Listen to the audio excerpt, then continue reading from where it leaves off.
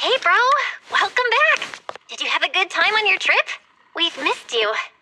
To celebrate your return home, everyone's got some special gifts for you. Of course, I got you one too. I hope you like it. I'll be waiting for you at home.